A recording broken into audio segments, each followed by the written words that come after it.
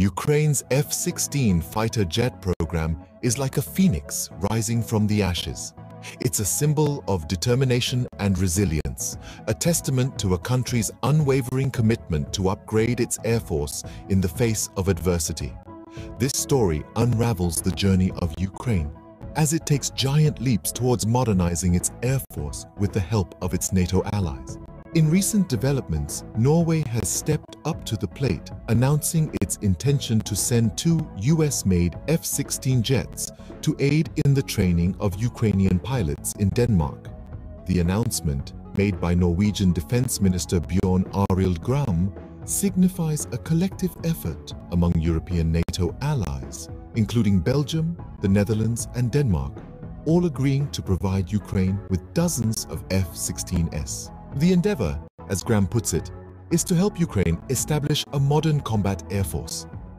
Although the journey is long and arduous, it is deemed crucial for ensuring stability and security throughout Europe.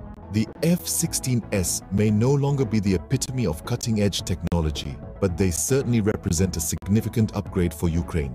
For years, Ukraine has relied heavily on a fleet that largely consists of Soviet-era MiG and Sukhoi jets, especially since Russia's invasion nearly two years ago. Despite the skepticism expressed by Russian President Vladimir Putin, who insists that the upgrade will not improve Ukraine's footing in the war, Ukraine remains steadfast.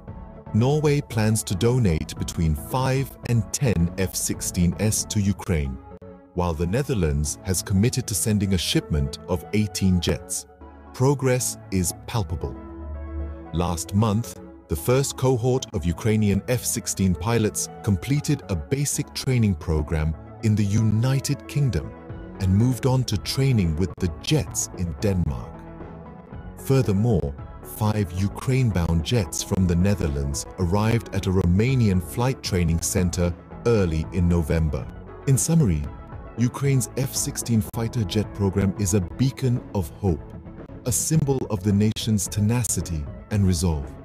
With the unwavering support of its NATO allies, Ukraine is making significant strides in upgrading its air force, bolstering its defense capabilities and ensuring the stability and security of Europe. This is not just a story of aircraft and technology, but a tale of unity, resilience, and the indomitable spirit of a nation.